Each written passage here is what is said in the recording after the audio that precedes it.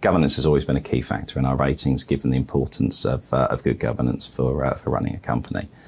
Um, it's always been a key uh, sort of red flag for, for any credit analyst if, uh, if governance is, uh, is not at a good level.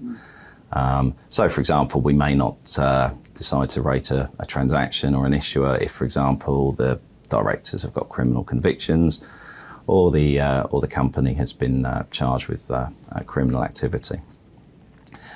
Another example could be if a, a transaction proposal does not provide for timely and appropriate ongoing performance and, and asset reporting. Um, this would make the maintenance of a rating difficult and therefore could mean we're unable to, to rate a structured finance transaction.